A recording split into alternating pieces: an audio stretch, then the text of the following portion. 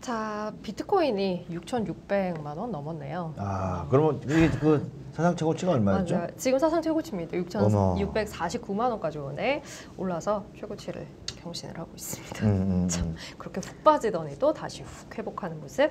자, 오늘 출발 증시 현황은 하창봉 대표 모시고 함께하겠습니다. 안녕하세요. 어서 오세요. 네, 안녕하세요. 자, 오늘은 수급 주체별로 최근에 어떤 흐름을 보이고 있는지 종목들을 좀 살펴보는 시간으로 준비를 하셨어요. 네. 음.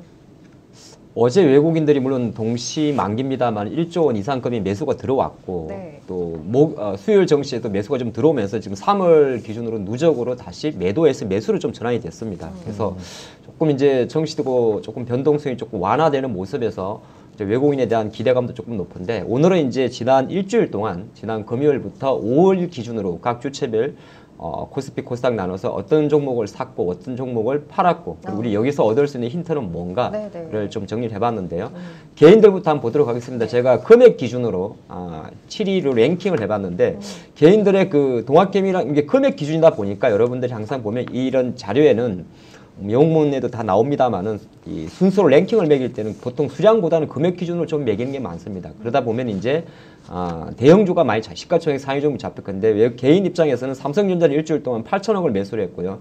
하이닉스가 대략 3,200억, 그럼 네이버가 2,600억, 삼성전자 우선주가 아니 지금 무슨 배당 줄 때도 아닌데 물론 분기 배당은 있습니다만은 아마 약간의 그 동학개미부들의 절대 주가가 싸 보이는 효과를 노렸지 않나 생각도 잠깐 해보겠고 어, 그리고 이제 카카오 14만 주 1,400억 정도, 현대차, 어, SK 이노베이션까지 샀는데 퍼포먼스를 보면 그 일주일 동안에 이제 주간 상승률을 제가 종가 기준으로 한번 수작업으로 체크를 해봤는데 뭐 대부분 물론 이제 지수가 일주일 동안 3월 5일과 어제까지 기준이 뭐 그렇게 오래 올랐다기보다 약했지 않습니까? 네. 지수를 머리 쪽에 좀 염두를 해보면 전부 다 마이너스입니다. 음. 안타깝게도 삼성전자도 물론 이제 종각 주다 보니까 약간의 차이는 있습니다만은 뭐 상승이 좀 미지근했고 하이닉스도 마찬가지입니다. 그리고 이제 오늘 이제 조금 더 어제부터 움직인 종목이 네이버 같은 종목들인데 이제 지난 금요일과 어제 종가 비교를 하게 되면 4.6% 약했고요. 가장 조금 안타까웠던 게 뭐냐면 SK 이노베이션입니다. 음, 음. 아, 이번 일주일 동안에 그 삼성 SDI라든지 LG화학 같은 경우는 상당히 폭발적인 반등세를 좀 보여줬는데 아마 SK 그룹주가 전반적으로 SK 바이오사이언스의 63조 청약 공모와는 또 별개였던 것 같습니다. 바로 지난주 금요일 날 나왔던 어, 최신원 SK 네트워크스 전 회장의 네. 횡령 배임 이슈. 아, 이 이슈 자체가 SK 네트워크스는 지금 현재 거래가 정지 진행되고 있습니다만 SKC 같은 경우는 횡령 규모 자체가 자본금을 넘기 때문에 거래 정지 기간에 돼 있는데 일단 개인들 기준으로 봤을 때는 거의 어, 현재 뭐 저는 일주일만 놓고 봤을 때는 수익이 조금 안 나는 그림이었다 그렇게 볼 수 같고 바로 뭘 팔았는지까지 연결해서 볼게요. 뭘 팔았는지 보니까 아이고 왜 거꾸로 하십니까? 예. LG화학을 무려 3,600억을 매도를 하셨고요. KB금융이 3,000억을 매도를 하셨고 기아차 1,500억, 삼성화재 1,300억, 그리고 신한지주 SKT 포스콤인데 아이러니하게도 저는 항상 가끔 이런 이야기를 합니다. 우리 가끔 장 마치고 많은 그 주식을 처음 하시는 분들은 종목을 잘 모르잖아요. 대형주. 그러면 제일 쉬운 방법 중에 하나가 개인이 제일 많이 매도한 종목 찾는 것도 한 방법입니다. 코스피 기준으로. 아니 왜 그러냐면 역설적으로 이 종목들이 전부 다 상승을 했습니다. LG화학은 8.5%가 상승을 했고 KB금융은 13.54% 이게 종가 기준이라서 그렇지. KB금융 같은 경우가 수요일 날 목요일 날 고점에서 좀 차익 매물이 나와서 그렇지 고점 기준으로는 15%가 넘었었고요. 그러니까요. 기아차는 지금 상당히 좋습니다. 한 4.58% 그리고 삼성화재 8.5% 포스코도 1.94%라고 제가 적어는 놨는데 이게 이제 지난 수요일과 목요일에 포스코가 좀 많이 빠졌습니다. 네. 고점 대비. 그러다 보니까 이제 수치로는 이제 마이너스입니다만은 사실은 플러스라 볼 수 있을 것 같습니다. 그래서 개인들은 조금 이 수급만 놓고 봤을 때는 거의 대부분이 내려가는 종목은 사고 있었고 음. 올라가는 종목은 냅다 팔았다. 그리 보겠습니다. 뭐 올라갈 때도 기다릴 수도 있겠죠. 그렇죠. 지난 일주일간의 네. 어, 종목들인 거고 일단 개인은 그랬고 그다음에 그러면- 뭐그 주체별로 좀 한번 보죠. 그래서 이제 우리가 제가 바로 그냥 다음 페이지를 보기 네. 전에 한 가지 팁을 바로 가르쳐 드리면 개인 순매도 상위 종목들 대부분 종목들이 올랐지 않습니까? 그럼 이거 누가 샀느냐? 음. 외국인 샀겠죠. 음. 그래서 실제적으로 외국인들이 그럼 동일 기간에 일주일 동안 매수한 종목을 보면 조금 전에 봤던 개인 순매도 종목의 상위가 전부 다 개인 외국인 순매도로 잡혀 있습니다. 그래서 포스코를 무려 4,200억을 샀고요. 외국인들은 일주일 동안에 LG 화학을 3,800억, 뭐 KB금융, 기아차, 삼성화재, 신한텔, 신한지주, SK텔레콤인데 가만 보면 조금 전에 봤던 예, 개인 순매도 상위 종목이 전부 다 외국인 순매수 상위 종목에 잡혀 있습니다. 네. 그러니까 이게 뭐냐면은 개인이 팔았다는 표현보다는 이 똑같은 하나의 현상을 보고 두 가지 접근을 하게 되는데 개인이 많이 판 종목이 상승한 게 아니고 외국인이 많이 매수한 종목이 상승한 겁니다. 음. 그렇게도 보는 거죠. 그래서 아까 제가 잠깐 중간에 팁을 하나 드렸는데 코스피 쪽은 철저하게 외국인 순매수 상위 종목만 랭킹을 하셔도 어느 정도 시장 대비해서는 아웃퍼폼을 할 수가 있습니다. 그걸 좀볼수 같고 포스코는 이제 아까 말씀드렸습니다만은 마이너스 수익률입니다만은 이게 3월 5일 금요일 종가와 3월 4일 금요일 종가, 아, 4, 4일 목요일 종가와 어제 3월 11일 종가를 상대 비교했기 때문에 마이너스입니다만은 주중 고점 기준은 플러스였고요. 뭐 LG화학은 오늘도 상승이 좀 기대되지 않습니까? 이제 금융주 같은 경우는 이제 수익률은 조금 주춤할 수는 있겠습니다만은 뭐 어느 정도 지금 이제 시장 힘 자체가 금융주는 빠지지 않는 그림입니다. 그리고 약간 이제 돋보이는 게 기아차는 계속적으로 주간 동안 외국인 기관의 순매수입니다. 물론 절대 주가는 지금 8만 2천 원, 8만 3천 원대 멈춰 있습니다만 자동차 중- 중에서 유일하게 좀 잡아주고 있는 게 특징이고 SK텔레콤 같은 경우 약간 방어적 습격이 들어왔지 않나 볼 수 같은데 외국인은 그러면 이 동기간에 뭘 팔았을까요? 안 봐도 보입니다. 음. 삼성제 팔았겠죠. 그렇죠.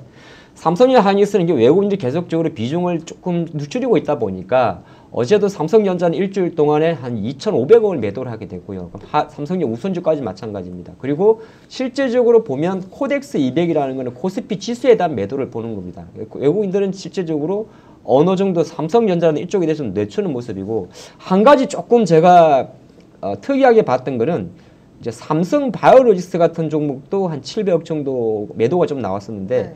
이게 이제 어제부터 보면 조금 매수가 좀 들어온 게 좀 특징이었고 아마 빅히트와 카카오에 대한 외국인 수급은 어떻게 보면 코스피 기관과도 좀 연동이 될 수 있습니다. 기업 개별에 대한 이슈보다는 어떻게 보면 성장주 차익 실현 국면에서의 매도가 좀 있었는데 관건은 뭐냐면 바로 네이버와 카카오를 외국인들이 매도를 했다는 겁니다. 음. 근데 제가 오늘 장 이따 참 보- 보겠습니다만 쿠팡의 성공적인 미국 시장 대비는 오늘 다시 한번 또 카카오 네이버에 대해서 체크해 볼 수 있는 시간도 되지 않나 그리 보겠습니다. 음.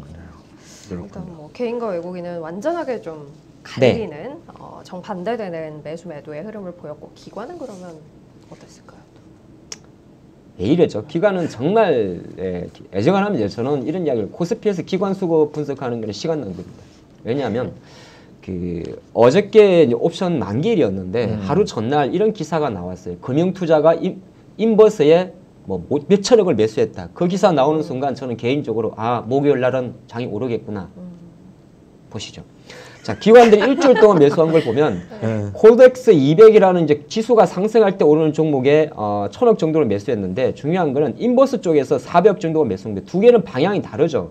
하나는 지수가 올라갈 수익이 내는 상품이고 인버스라는 건 밖에서 우리가 보통 고버스라고 이야기하지 않습니까? 코스피 지수가 내려야 수익이 나는 겁니다. 2000 작년도 이맘때 기준으로 많은 공학 동학 개미 분들 중에 일부 투자가 분들 아직도 15,000원짜리 인버스를 갖고 있는 분도 계십니다. 지금 인버스의 절대 주가는 2,000원대 초반입니다. 근데 항상 볼 때 기관 수급을 보실 때는 기관 개라고 표시를 했지 않습니까? 금융 투자는 배제하라는 말씀을 제가 가끔 드립니다. 금융 투자는 대부분 ETF 투자가 많습니다. 그래서 요거를 좀 참조해 좋을 것 같고 다만 이게 제가 연기금까지 포함되다 보니까 그러면 기관 순매수 상위를 볼 때는 ETF 매매에 대해 가지고 장을 분석하는 거는 조금 부, 제가 볼 때는 시간 낭비일 생각 있고 오히려 이제 다른 밑에 쪽이 좀 좋습니다.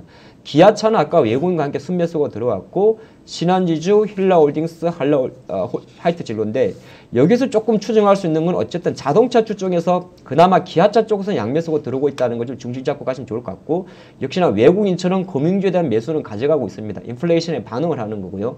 휠라홀딩스라든지 하이트 진로 같은 경우는 기관들은 외국인과는 조금 다르게 내수주라든지 방어적 스탠스를 보이고 있기 때문에 오히려 경기 회복 관련주에 대한 매수세가 좀 들어온다 그렇게 볼 수 있을 것 같습니다. 과연 그들은 뭐를 팔았을까요? 음.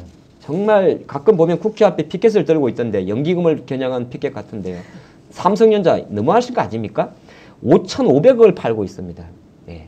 포스코는 이제 차익 실현 성격이 좀 급- 급한 거고요. 3,500억 정도. 하이닉스도 팔고 있으면 이거는 앞뒤가 안 맞는 거죠. 하이닉스 실적 좋다고 그러니까 개인 투자자분들 울분을 포할 수 있어요.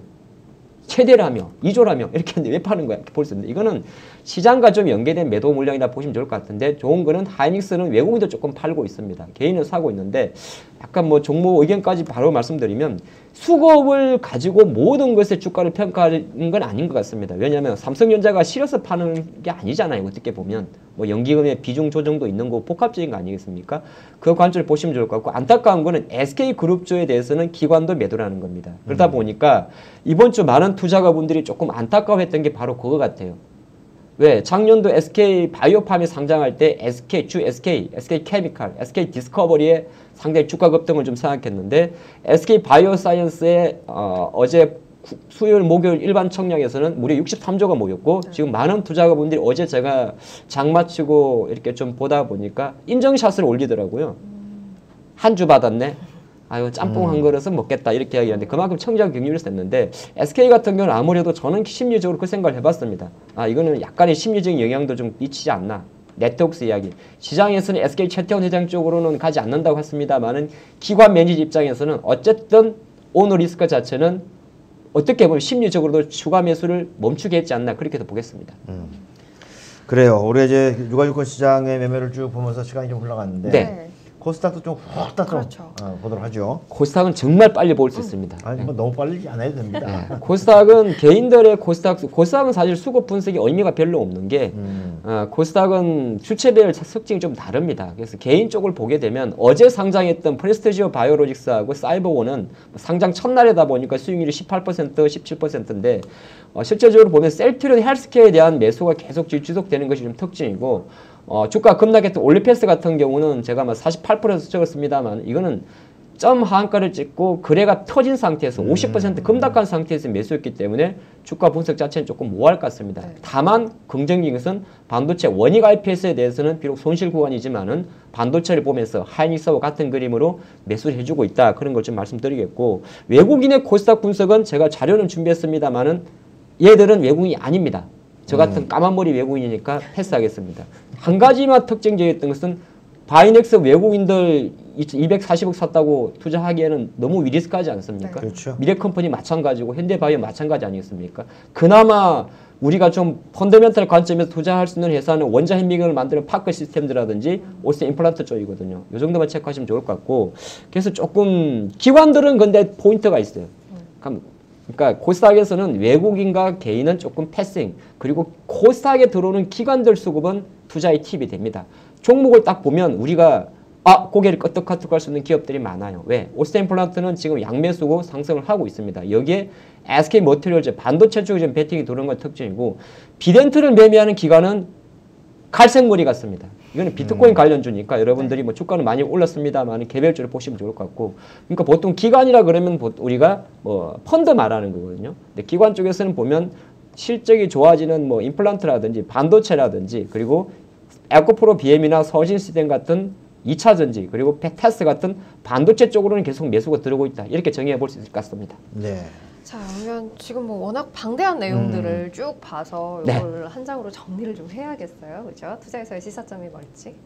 아, 방대했지만 제가 상당히 중간에 다 요약을 해드렸는데 예, 네. 이거 유튜브 아마 그대로 노출이 되는 걸로 알고 있습니다. 네. 네. 한번 또 체크해 주시면 좋을 것 같고 네. 그래서 오늘 주간 수급에서는 외국인들은 지금 소재랑 금융주들이 계속 매수를 하고 있습니다. 소재랑 건 포스코 같은 걸 말하고 금융주는 우리가 말하는 이제 금리 인플레이션 관련주를 말할 수 있을 것 같고요. 기관은 여전히 아직 시장에 대해서 특별히 코스피 쪽에서는 어떤 방어적 스탠스 정도만 포착이 됩니다. 어떤 섹터에 대한 공격적인 매수는 좀 안 들은 모습이고 다만 코스닥 쪽에서는 뭐 기관들 같은 경우가 계속적으로 반도체라든지 실제 기반주의 매수가 들어오는 거 요거는 포인트 잡아가시면 좋을 것 같습니다. 네.